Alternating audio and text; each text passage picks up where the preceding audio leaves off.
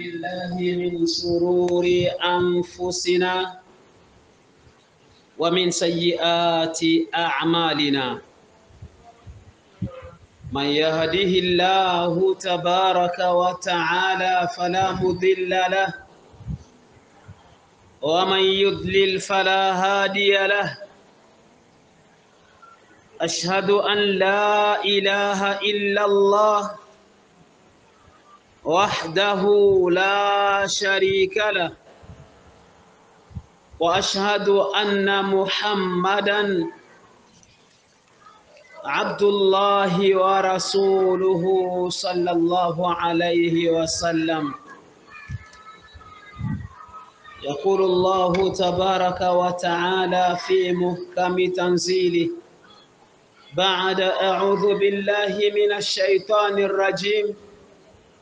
بسم الله الرحمن الرحيم يا أيها الناس اتقوا ربكم الذي خلقكم من نفس واحدة وخلق منها زوجها وبث منهما رجالا كثيرا ونساء واتقوا الله الذي تساءلون به والأرحام إن الله كان عليكم رقيبا. وقال تعالى يا أيها الذين آمنوا اتقوا الله حق تقاته ولا تموتن إلا وأنتم مسلمون. وقال تعالى يا أيها الذين آمنوا اتقوا الله وقولوا قولا سديدا. يصلح لكم أعمالكم ويغفر لكم ذنوبكم. ومن يطع الله ورسوله فقد فاز فوزا عظيما. فإن أحسن الحديث كتاب الله وخير الهدي هدي محمد صلى الله عليه وسلم وشر الأمور محدثاتها وكل محدثة بدعة وكل بدعة ضلالة وكل ضلالة في النار. أعاذنا الله من النار. أشكري الله تبارك وتعالى. na salam zimwendee nabii wa umma mwalimu wetu mpenzi wetu mtume wetu Muhammad sallallahu alayhi wasallam, yeye na ahalize na sahabaze kiram na Waislamu wote watawajikubalisha kufuata mwenendo wake kwa wema hadi siku ya mwisho. Allah, nasi tunakuomba utujalie miongoni mwa hao, Allahumma amin. Mtume wetu Muhammad sallallahu alayhi wasallam, mara nyingi ilikuwa inatokea maswahaba wanamjia na kumwomba wasia, kumwomba awahusie. Kwa mfano wa karibu yule sahaba aliyekuja kwa mtume wetu Muhammad sallallahu alaihi wasallam akamwambia, ya Rasul Allah, ausini, ewe mjumbe wa Allah, naomba uniusie. Rasul sallallahu alaihi wasallam akamwambia, la taghdab, usisiriki. Sahaba akamwambia Rasulullah, niongeze. Rasul akamwambia usisiriki. Ukiyasikia haya maneno utaona ni maneno madogo tu, lakini amebeba siri iliyokuwa kubwa sana. Mwingine sahaba anakuja kwa Rasul, anamuuliza ya Rasulullah, kitendo gani bora ambacho kinapendwa sana na Allah tabaraka wa taala? Rasul anampa jawabu kumwambia kwamba assalatu ni swala napoisali kwa wakati wake wa mwanzo. Zimekuja dalili nyingi katika sura kama vile hiyo.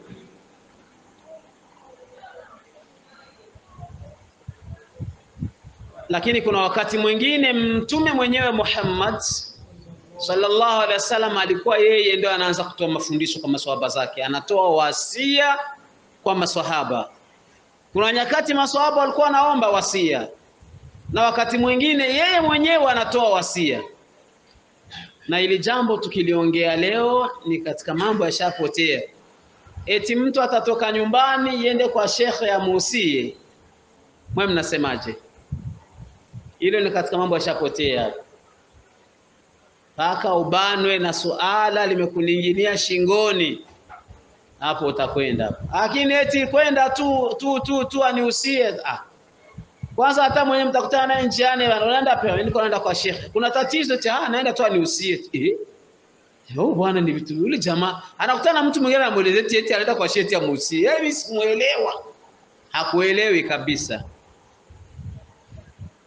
Kuna wakati mwingine sa Rasulu mwenyewe alikuwa na toa nasaha kwa maswahaba zake.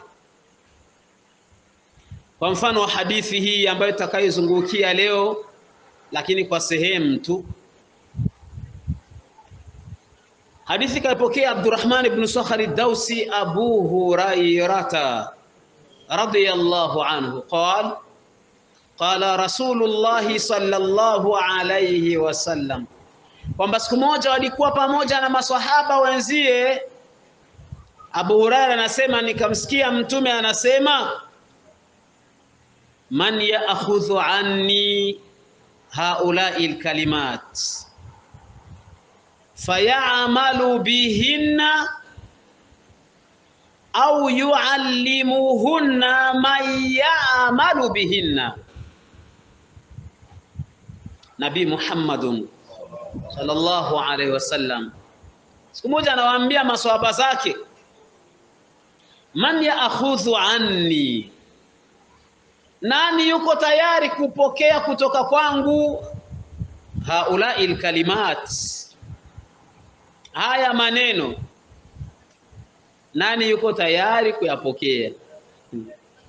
Ya Rabbi, Allah alipe kila la kheri maswahaba. Ndugu zangu, nani yuko tayari kuyapokea haya maneno?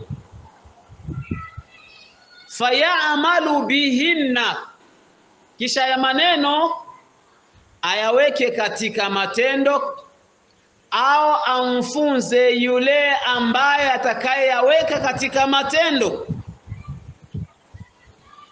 Qala Abu Huraira, Abu Huraira radhiyallahu anhu anasema, akasema fakultu ana ya Rasulallah Asema mimi ewe mjumbe wa Allah niko tayari kuyachukua ya maneno. Fa akhadha biyadi faadda khamsan. Abu Huraira anasema mtume akanishika mkono wangu akanipa maneno matano. La kwanza mtume akasema ittaqil maharim takun a'bada nas. Ewe Abu Huraira, jiepushe na vile ambavyo Allah alivyoharamisha utakuwa wewe ni mfanya ibada kuliko watu wote. warda bima qasama Allahu laka takun aghna nnas, na utosheki na kile alichokupa Allah, utakuwa wewe ni tajiri kuliko watu wote. Wa ahsin ila jarika takun mu'mina na umtendee wema. Nambari tatu hiyo, mtendee wema jirani yako, utakuwa wewe ni mwaminifu mzuri.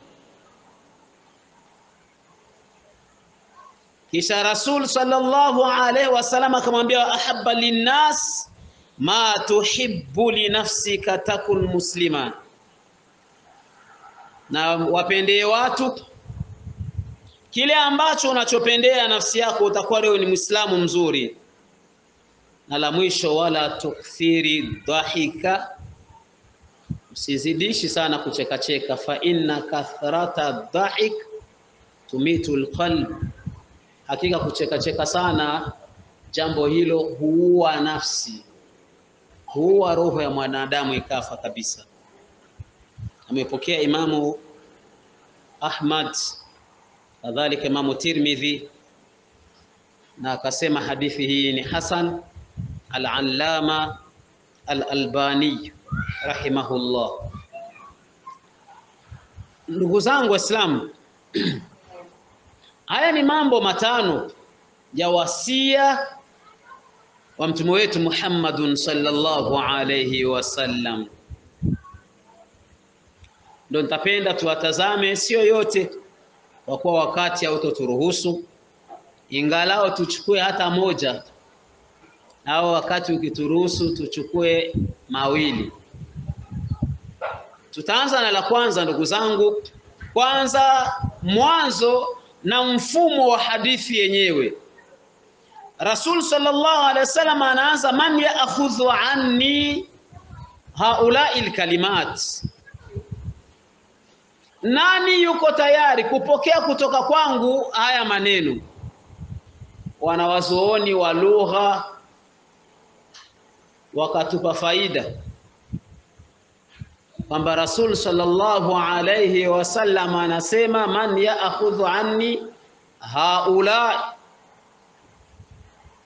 haula, na hii inaonyesha vitu vyenye akili, na Rasul anazungumzia maneno, wakasema hii ni ishara ya uzito wa yale maneno ambayo Rasul anataka kuyazungumza mpaka kama kwamba anawaonyesha maswaba zake ni kitu chenye akili. Kwa hivyo wenye akili wazingatie hapo, haulai lkalimat.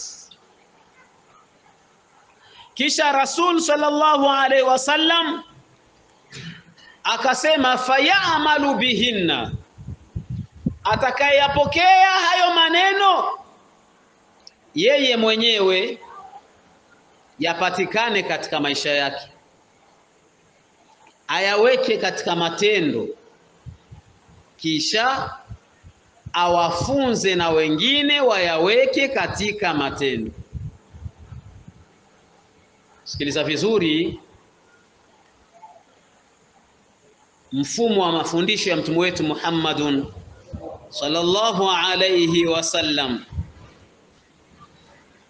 Rasul sallallahu alayhi wasallam anasema mtu atakayeyapokea kwanza yeye mwenyewe yaonekane maisha yake. Wanawazoona wakatuambia kuna mambo matatu hapa. Jambo la kwanza ni alilmu, jambo la pili ni alamalu, jambo la tatu addawa. Mambo matatu. Kwanza kuna elimu kusoma haya maneno ya mtume wetu Muhammadun sallallahu alaihi wasallam, man yaakhudhu anni, nani jamani? Atakayapokea haya maneno. Kwa hivyo hii inatufunza ndugu zangu, anayoyasema mtume ni elimu. Kwa hivyo Muislamu, usipotezi hiyo fursa, pokea haya maneno, pokea maneno ya nabii wako. Man yaakhudhu anni, nani jamani? Atakayepokea kwa hivyo lazima ujifunze kwa Nabii Muhammad sallallahu alaihi wasallam, kisha yale unayojifunza yaonekane katika maisha yako. Ndio tukasema ni vitu vitatu: alilmu ni elimu, kuyapokea haya maneno; alamal ni matendo, kuyaweka katika vitendo, hiyo elimu yako ionekane katika vitendo; na jambo la tatu addawa haya maneno ya Mtume Muhammad sallallahu alaihi wasallam yasibaki kwako wewe mwenyewe tu, bali wafikishie na wengine, kama kwamba Rasul arada an takuna salihan wa muslihan, alitaka Nabii Muhammadun sallallahu alaihi wasallam wewe kwanza utengeze ute, upate hiyo elimu ikutengeneze na uwafikishie wengine ili na wao waende kwenye mstari uliokuwa usawa. Na hili ni jambo muhimu sana katika maisha ya Waislamu, na laiti Waislamu tungelikuwa nalo lingetusaidia sana. Yale ambayo unayoyapata na wewe unamfikishia mwenzako, sio mpaka uje msikitini a kwamba na wewe mpaka upande kwenye mimbari, sio lazima, lakini yale ambayo umeyapokea wewe ni elimu, kisha yaonekane katika maisha yako, halafu mfikishie na mwenzako, usiwi bahili mfikishie na mwenzako. Na ndiyo maana Allah tabaraka wa taala akatupa sura fupi akayaashiria haya أعوذ بالله من الشيطان الرجيم. بسم الله الرحمن الرحيم. والعصر. إن الإنسان لفي خسر. إلا الذين آمنوا وعملوا الصالحات وتواصوا بالحق وتواصوا بالصبر. تزام جيسي الله جمع بين العلم والإيمان والعمل wad da'wa. Allah anaapa kuhusu wakati hakika mwanadamu yumo katika hasara, ila alladhina amanu, isipokuwa yule ambaye aliyeamini. Mafundisho ya imani umeyapata, ni elimu hiyo, ukaamini kisha ukatenda matendo aliyokuwa mazuri na ukawafikishia wengine ukawahusia wengine mambo ya uhaki, kawahusia wengine subira. Hiyo ni dawa kwa hali yako. E, ni tofauti kabisa mpaka wewe uje hapa msikitini simame na wewe sio nafasi yako, italeta shida. Leo utaanza kuchanga mada. Tunamshukuru Mtume na tunamsalia Allah, utachanga mada, utachanga mada. Yaani macho ya watu kisha nakutizama, una fasi ya Allah unaweka mtume, fasi ya mtume unamweka nani? We zile kawaida yako tu. Kumlingania mwenzako, hata kwenye mko kwenye ligala ndogo ndogo tu unampa. Kwa lugha yako ya Kiswahili, kwa lugha yako ya Kirundi, kwa lugha yako. man yaakhudhu anni hadhihi alkalimat au haulai alkalimat fayaamalu bihinna, atakayachukua haya maneno yaonekane maishani mwake, sio zile habari za manaswara uh -uh.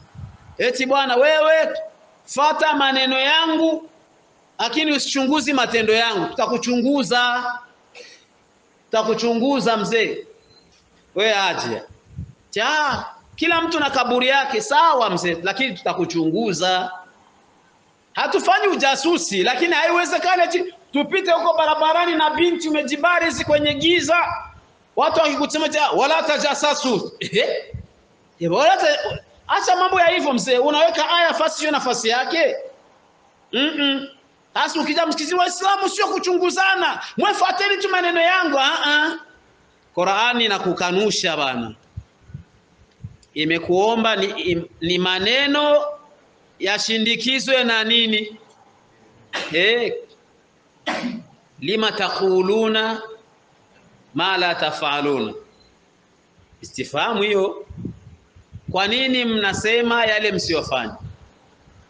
Kwa kuonyesha ubaya wa hilo jambo, kabura maqtan inda Allahi an taqulu ma la tafaluna ni chukizo kubwa mbele ya Allah kwa kusema yale msiyoyafanya lakini tunakosoa hapa, haimaanishi ya kwamba kama vile mtu anafanya makosa hawezi kulingania watu wengine. Ah, haimaanishi tasema tasema, lakini dawa ikiwa itashindikizwa, maneno yakashindikizwa na vitendo, itakuwa ni bora. Ndo Nabii Muhammadun sallallahu alayhi wasallam anatuambia, nani atakayepokea haya maneno? Ye mwenyewe ayaweke katika matendo, yaonekane, abadilike na wafikishie wengine, wayaweke katika matendo, na kila siku yawezekana. Mwenye aliyesikia au mwenye kufikishiwa, mwenye kufikishiwa habari akayaweka katika matendo zaidi kuliko hata yule mwenye aliyojisikilia. Haiwezekani hivyo jamani.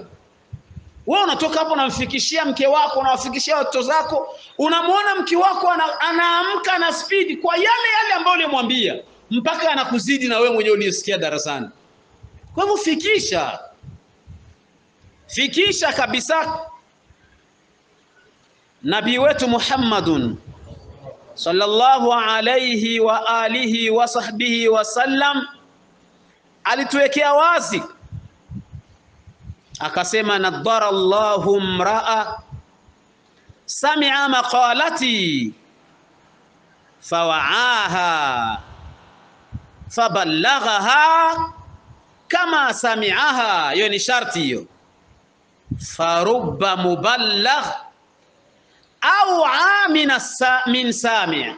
sikiliza maneno vizuri nabii anasema sallallahu alaihi wasallama Allah aunawirishe uso wa yule mja ambaye aliyasikia maneno yangu akayazingatia kisawasawa kwa masikio ya roho kisha akayafikisha kama samiaha akayafikisha kama alivyoyasikia wewe usiongezi vyako hapa mtume alikusudia alikusudia. Wewe mlikuwa pamoja. Ukitaka hayo ingia katika maneno ya maulama wakusaidie. Maana wale wamezamilia katika hadithi nyingi zinawapa mwangaza. Wamezipitia aya nyingi zinawapa mwangaza. Lakini sio wewe uende kuanza kutunga kwa a kwa hivyo akayafikisha kama alivyoyasikia. Ndio nabii anasema yawezekana yule aliyefikishiwa akawa ni mwenye kuzingatia zaidi kuliko yule aliyesikia kwa masikio yake. Kwa hivyo nabii Muhammadun sallallahu alayhi wasallam ndiye anawaambia maswahaba zake anawauliza nani jamani? Man yaakhudhu anni? Nani yuko tayari kupokea kutoka kwangu haya maneno? Ayaweke katika matendo na wafikishie wale ambao watakaoyaweka katika matendo.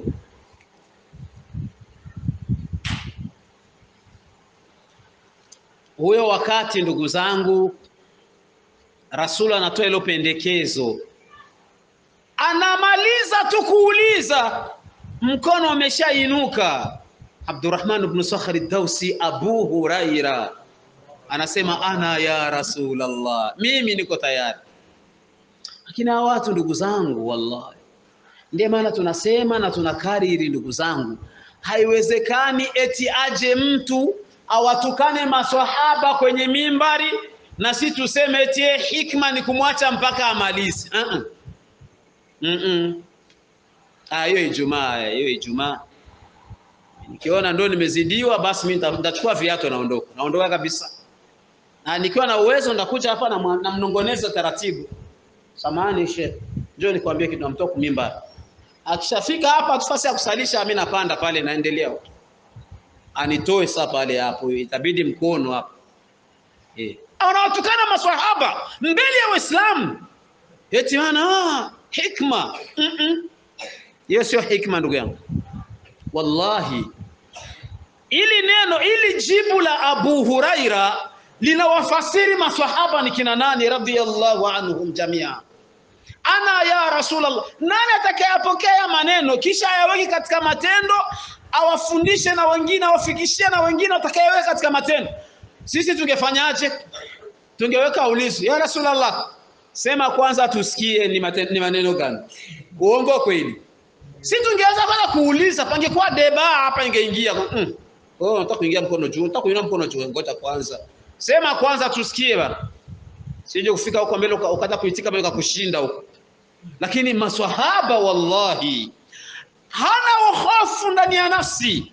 Maana anajua atakayezungumzwa yanazungumzwa na yule ambaye kasifiwa na Allah wama yantiqu anil hawa in huwa illa wahyuha yuko tayari bila kuuliza bila uoga yatakuwa ni aje na uzito wa kiasi gani?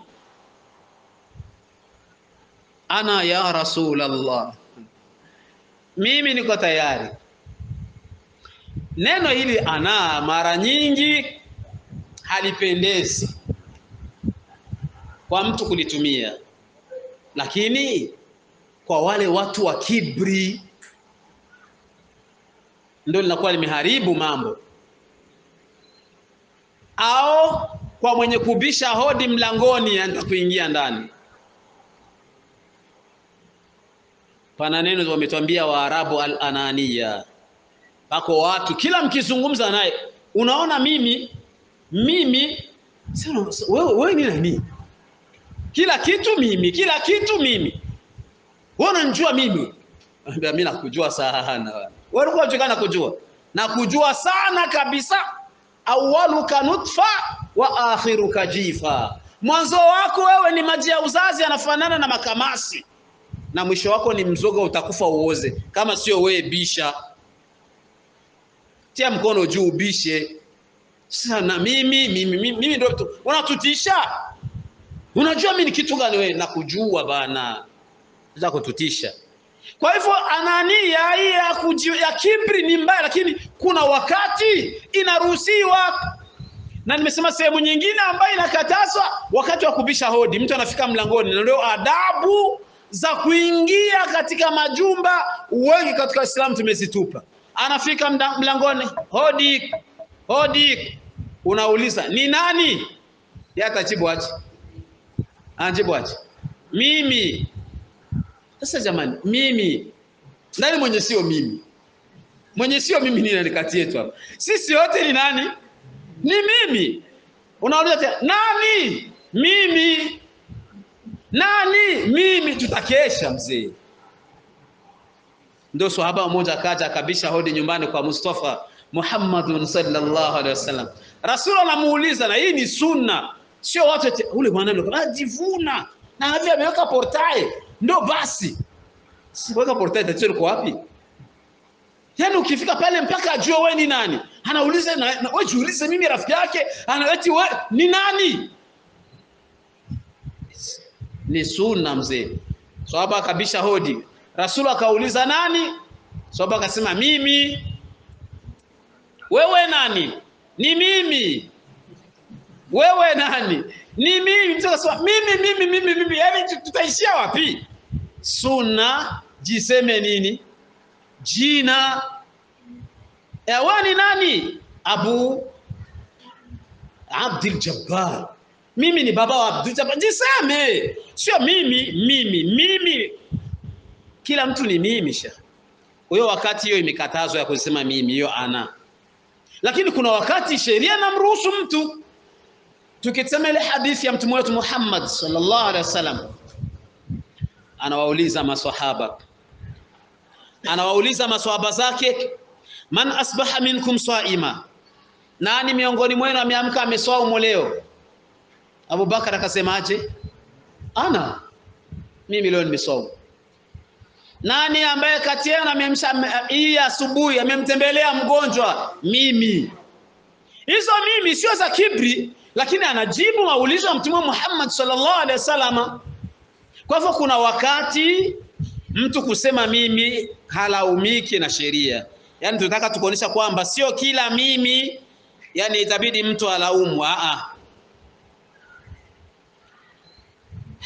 subhanallah man yaakhudhu anni ha haulai lkalimat fayamalu bihinna, nani atayapokea maneno ayaweke katika matendo, au yuallimuhunna man yaamalu bihinna, au amfunze mtu yule ambaye atakayeweka na yeye katika matendo.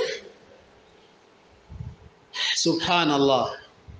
Abdurrahman anasema mimi ya Rasulullah, na hii inatufundisha ndugu zangu kila mara katika mambo ya kheri tuwe wepesi. Mambo ya kheri, Muislamu kuwa mstari wa mbele, kuwa mstari wa mbele.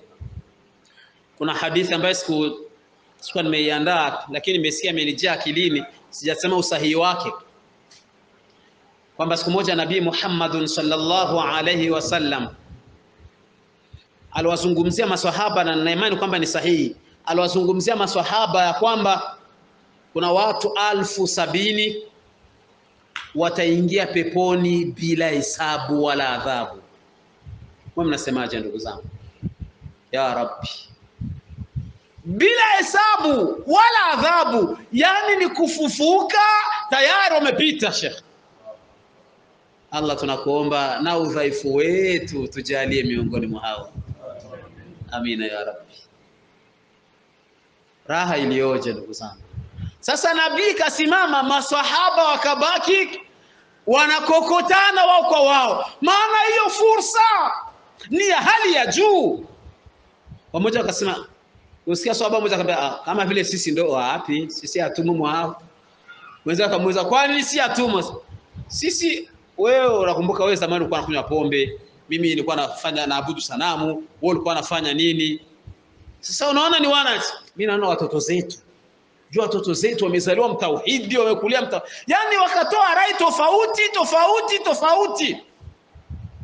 Alivyorudi Mtume Muhammad sallallahu alayhi wa alihi wa sahbihi wasallam, akawakuta bado masahaba hawana amani, wamekosa raha. Ni kina nani hawa watakaoingia peponi bila hesabu wala adhabu? Ya Rasulullah, tunakokotana hapa, hatujui ni nani. Mtume akasema, akatoa baadhi ya sifa, sikusudia kuzungumza hadithi yote, akatoa baadhi ya sifa, akawaambia hao ni wale ambao hata wakiumwa huwa hawaombi kuombewa dua, ah, hawana shida. Eh bana, niombee dua hali yangu, ah, hawana hilo au dawa anambia Allah ndo, ndo, ndo, ndo atatoa dawa. Ah, nasawaba kidogo akakaa kimya. Sikia hilo jambo sio mchezo, sio na wewe kurupuke hapa tufika nyumbani malaria imekupiga tia. Abdul Jabbar alisema bwana, vitakushinda mzee.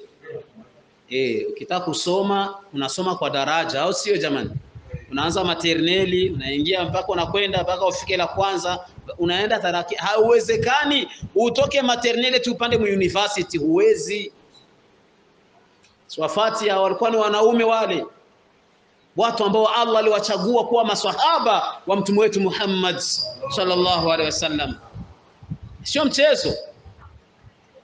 La, ninachokusudia mahalu shahidi katika hii hadithi, swaba mmoja alivyomsikia mtume iko anasema vakainua akainua mkono akamwambia, Rasulullah, niombee kwa Allah niwe miongoni mwa hao watu. Ya Rabbi, ya Rabbi, niombee ya Rasulullah, niwe miongoni mwao. Nabii akamjibu papo hapo, anta minhum, wewe ni miongoni mwao. Ndio maswapo kashuka eh eh bana fursa imetupita.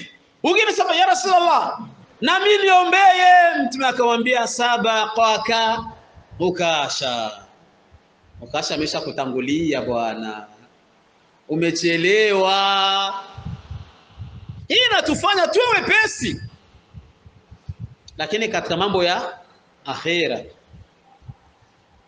sabiqu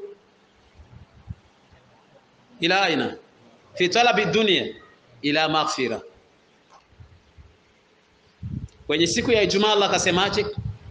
ya ayyuha alladhina amanu idha nudiya lis-salati min yawmil al-jumu'a madha tafaluna? Fas'au, harakieni, sabiqu, tangulieni, harakieni mambo ya akhera. Lakini ikizungumzwa dunia, fa idha qudiyati sala, fi lugha inakuja fantashiru, sambaeni tu. Ndogo ndogo ndogo. korani metulea imetulea hivyo, japokuwa sisi leo tumefanyaje? Tumegeuza kwenye Ijumaa, imamu anaingiaga muskitini, pangaliki safa moja, atamaliza hutuba ya Ijumaa, Waislamu wako mpaka nje. Walikuwa wapi? Hapa hapa tu, lakini akhera sio jambo lao la kuwashtua sio jambo linawapa linawashtua. Kuna mengine. Eh, hivi tuko mkan. Coupe d'Afrique, wasinaona msikiti kisi huko? Umechea. Yawezekana saa hizi kuna mechi, au sio jamani? Saa hizi kuna mechi huko. Sasa kuna watu mzee anawahi, mechi itaanza saa kumi na mbili. Kumi na moja ameshafika. Kiti cha mbele, kiti cha mbele, wanapopia kwenye dunia, lakini kwenye akhera wazito. Abu Huraira hakusita. Nani atayachukua ya maneno ayaweke katika matendo na amfunze atakayeweka katika matendo? Ana ya Rasulullah, mimi ewe mjumbe wa Allah.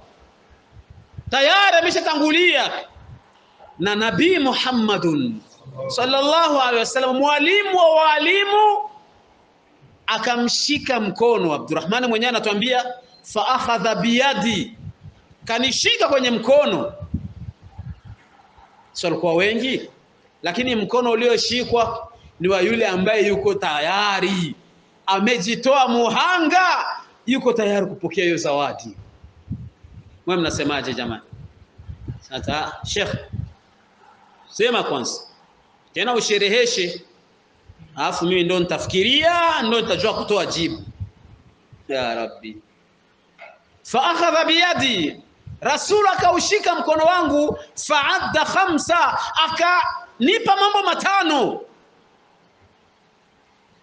Kamshika kama vile mwalimu mwenye wa mapenzi na mwanafunzi wake. Kamshika mwalimu anamwonyesha mwanafunzi umuhimu wa yale atakayezungumzwa. Kijana, jiandae. Na Abdurrahman, ndugu zangu, Abu Huraira radhiyallahu anhu Ukisoma maisha yake utashangaa, ameishi na mtume, sidhani kama miaka minne ilifika, sidhani miaka minne.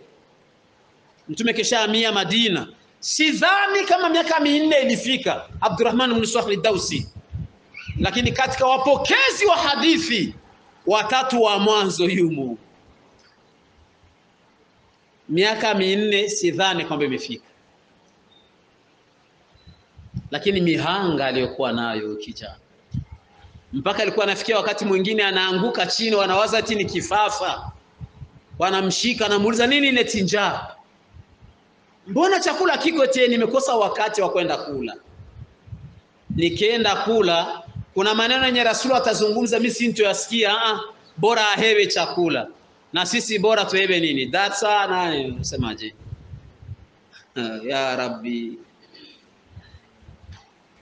ndugu zangu, ndiye Nabii Muhammadun sallallahu alaihi wasallam akamzawadia mambo matano, arbaun minha awamir, manne miongoni mwa hayo matano. Sikiliza vizuri ufasaha wa mtume wetu Muhammadun sallallahu alaihi wasallam. Mambo manne katika hayo matano ni amri, wa wahidun minha, na moja tu katika hayo ndo nahi, katazo.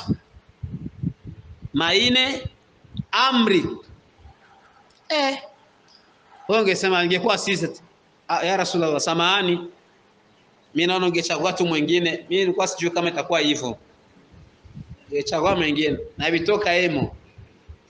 Hmm. Abdurrahman anasubira na yuko tayari, leta ya Rasulullah. Rasul akampa la kwanza. Tumesema manne yote ni nini? Amri. La kwanza, la pili, la tatu, la nne, amri. La tano lile la mwisho wala tukthiri dhahik, ndo likaja katika sura ya katazo. Lakini maine yote amri. Ittaqi lmaharim takun a'bada nnas, maneno ya Nabii Muhammadun sallallahu alaihi wasallam, kwamba ewe sahaba wangu jiepushe na kila kile alichokiharamisha Allah utakuwa we ni mfanya ibada kuliko wafanya ibada wote,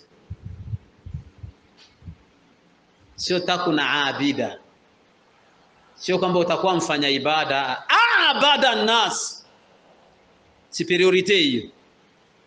sighatul mubalagha. Sio takuna abida. Angesema utakuwa mfanya ibada ingeonyesha ni mfanya ibada wa kawaida. Lakini takun abada nas utakuwa mfanya ibada zaidi kuliko watu. Katika kuacha nini? Au hatuko wote jamani? Katika kuacha nini jamani? Mambo aliyoharamisha nani? Allah tabaraka wa taala. Acha tuguse kidogo hapa na ndiye maana leo ukitizama watu wengi wanahukumu ucha Mungu kwa ibada zenye mtu anafanya. Salamu alaikum.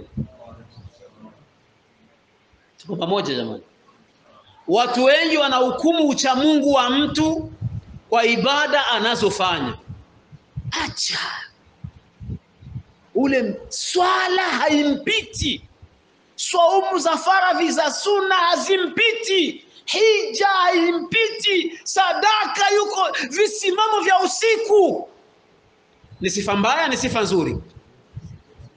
Eti sifa nzuri, sifa nzuri kabisa, lakini Rasulu hajasema hiyo. Acha mambo ya haramu, utakuwa mfanya ibada Hakuna unasikia nini ndugu yangu Muislamu katika maneno ya mtume wetu Muhammad sallallahu alaihi wasallam? Yaani ili uwe mfanya ibada acha nini? Mambo ya haramu. Acha mambo ya haramu ndo uwe mfanya ibada mzuri. Kwa kuwa wengi ndugu zangu, anaweza kuwa mtu anafanya ibada nyingi nyingi, sio maskhara lakini mambo ya haramu yamemshinda kufanyaje? Kuacha. Jamani, tuko pamoja hapo? Mambo ya haramu yamemshinda kuacha, ila ibada au tutoe mfano kidogo. Yani, kuna mtu ni msalihina mzuri lakini kwa sinema zile za uchi yeye ndio kwa mstari wa mwanzo. Mwe mnasemaje? Nimekosea eh? Ha, unajua uzuri wa Qur'ani inatuweka sawa kwamba bali insanu ala nafsihi basira. Ya Rabbi, Allah tusamee ndugu zangu.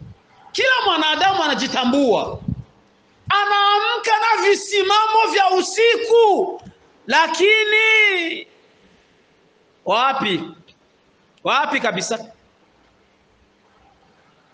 mambo ya ibada ameanguka kabisa, mambo ya haramu ha, yamemshinda kuacha. Kwa nini huyu sio mfanya ibada, sio hata kwa mfanya ibada kuliko watu, na yale ya kweli anafanya ibada? Ndo ulizo hilo. Wanawazuoni wanatuambia Rasul sallallahu alaihi wasallam ameonyesha kwamba ili uwe mfanya ibada ni kuacha haramu. Hajaashiria kufanya hizo ibada, aa, kuacha haramu. Sasa tunajiuliza jamani, huyu mtu anasali usiku, swala tano kawaida, swaumu za suna na faradhi, ibada tofauti anafanya. Kwa nini Rasul asisemi huyu ni mfanya ibada na yeye anafanya nini? Mmesirika? Maana nasikia tena hata kuitika mwitiki. Naambieni kama mmesirika niishie hapa jamani. Maana naona watu kimya kabisa. Mfanya ibada. Lakini Rasul anasema huyu sio mfanya nini? Mfanya ibada ni mwenye kuacha haramu. Ndugu zangu, lilibadati halawa wa ladha. Ibada ina utamu, ina ladha, ina uhondo wake. Pindi mtu atapofanya ibada ameacha mambo ya haramu, ibada yake haiwezi kuwa sawasawa na mwenye kufanya ibada na anaendelea katika mambo ya haramu. Mustahil. Kuna mtu anasali lakini takbiratul ihram mpaka mwisho wa swala yuko ndani ya swala kiwiliwili, roho hamna. Na ndio wale ambapo mwezi wa baraka, mwezi wa Ramadhani, tunamwomba Allah tukirimu Ramadhani nyingi zaidi na zaidi, na atupe faida zinazopatikana katika kufunga miezi ya Ramadhani. Ndio wale ambapo wanachaguaga tarawih Mi, tarawe mi tarawih kila mwaka hainipiti. Tena kweli, lakini anasaliaga wapi? Kwa ule msikiti wenye kurefusha au wenye kufupisha?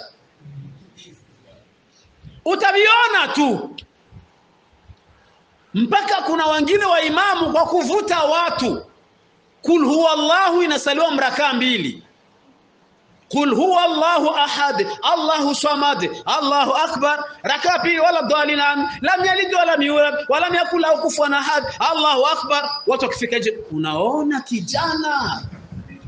Ana hikma, amesoma, atavikwa na vilemba. Kwa kuwa amekata. Na kuna mingine misikiti wanajitahidi na kokotwa juzu, mwa mnasemaje? Juzu inakokotwa Bakara, watu wanateremka, unamsikia imamu anapanda anateremka. Wenye kuacha wenye kufanya ibada wakaacha na madhambi, akiwa hapo, yani ile Qurani inampandisha inamteremsha. Unamwona wakati mwingine macho anashindwa kuvumilia, machozi anateremka. Ena ibada na utamu wake ibada ina ladha, ina uhondo, lakini kwa wale wenye kufanya hiyo ibada na wameacha nini? Madhambi. Ndo Nabii Muhammadun sallallahu alaihi wasallam anasema ittaqil maharim, acha mambo ya haram, takun abada nnas, utakuwa wewe ni mfanya ibada kuliko watu wote. Acha maasi Eh, naam. Acha mzee. Kuna mtu ni mswalihina mzuri lakini mzinifu mkubwa, mzinifu kabisa. Allah tunamwomba ndugu zangu atuhifadhi. Ni hali ambayo inatisha na inasikitisha ukitazama hali za wengi miongoni mwa Waislamu wallahi, na ndiye maana mtume wetu Muhammadun sallallahu alayhi wa alihi wa sahbihi wasallam alikuwa anazungumza na maswahaba zake. Sikiliza hii hadithi, akasema sallallahu alayhi wasallam, la a'lamanna aqwaman min ummati, na wajua watu.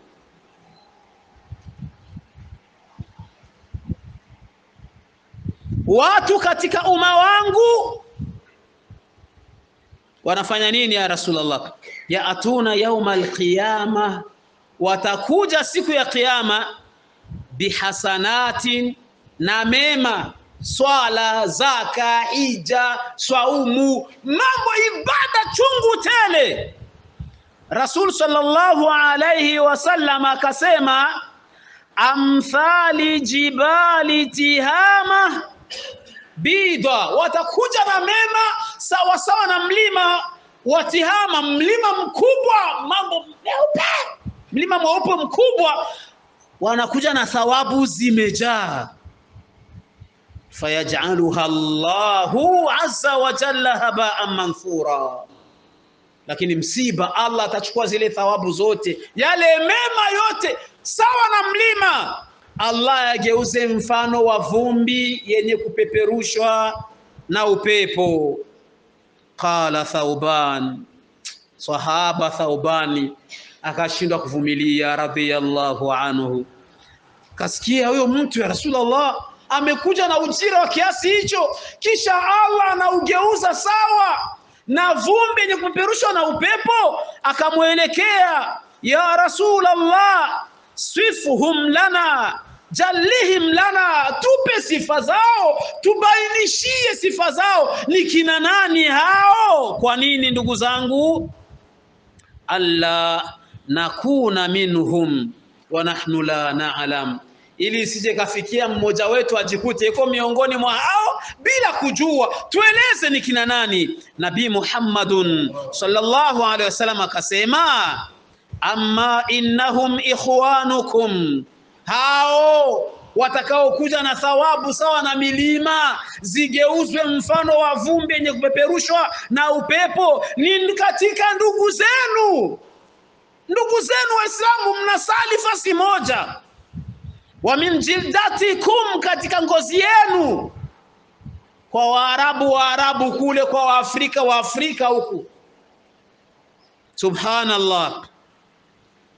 Wayakhudhuna min allaili kama taakhudhun hii ndio fasi natia uchungu.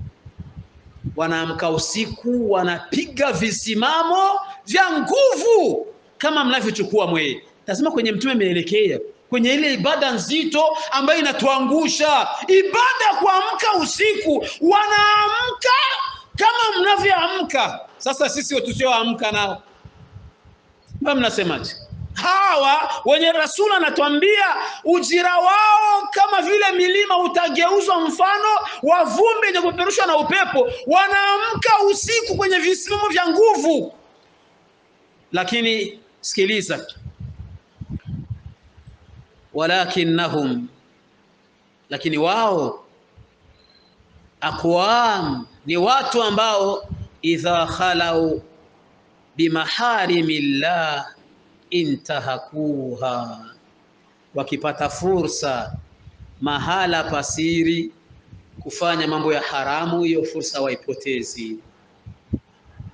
Na ibada zao zote wakipata fursa ya kufanya mambo ya haramu hiyo fursa hawaiachi. Hawaiachi ndugu zangu waislamu.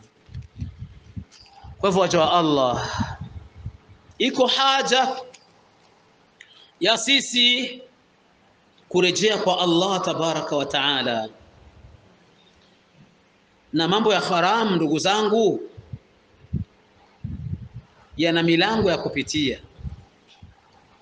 Yana milango ya kupitia mpaka yanaingia ndani ya nafsi ya mwanadamu na kuiharibu. Atabaki mtu ni kwenye ibada lakini ndani hamna chochote. Na milango hiyo wanawazuoni wakatuambia ni milango misaba. Wakasema mlango wa kwanza albabu lawal khababu lisan.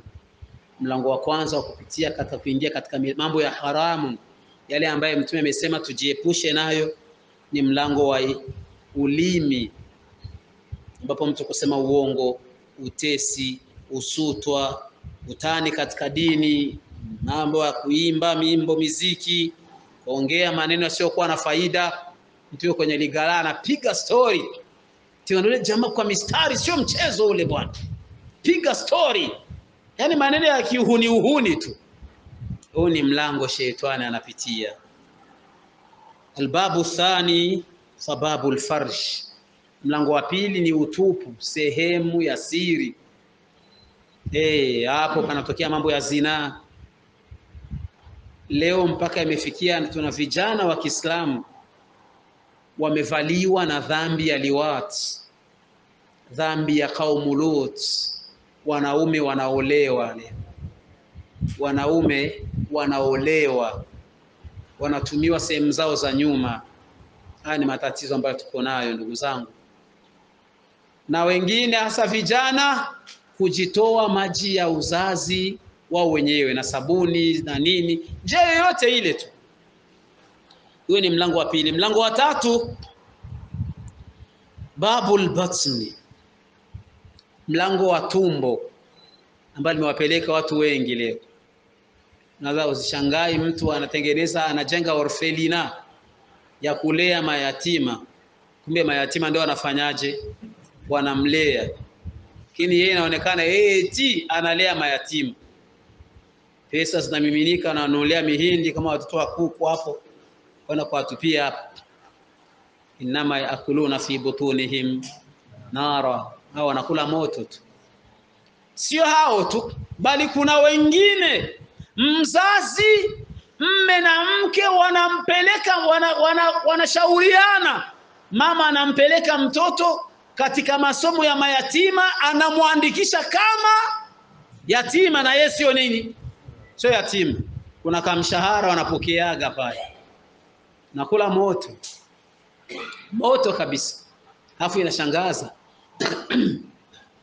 Mpaka imetokea mama mmoja akaenda kuandikisha mtoto wake ni yatima, akapokea hela kweli, kila miezi mitatu anapokea ma, malaki kwenda Tanzania, enda kulangua nini.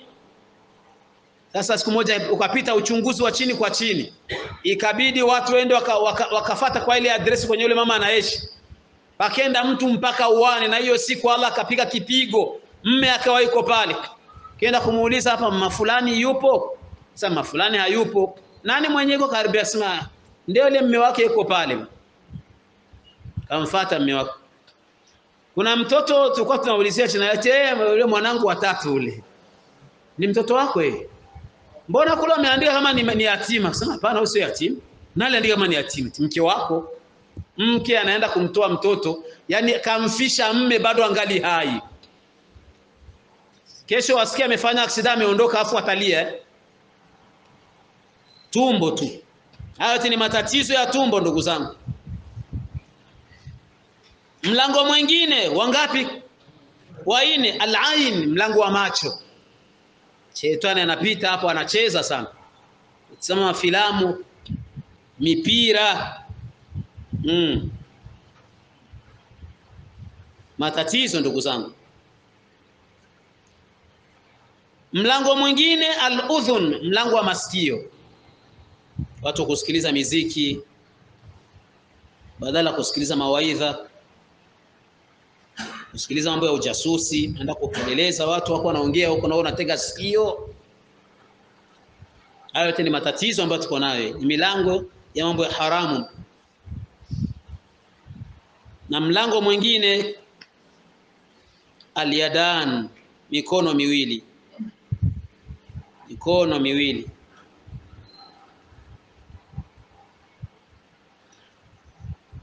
na mlango wa mwisho miguu miwili, mikono kugusa mambo yasiyoruhusiwa na sheria na miguu kuipeleka katika nafasi ambapo Allah tabaraka wa taala hakuruhusu. Kwa hivyo waja wa Allah, leo tutasimamia hapa.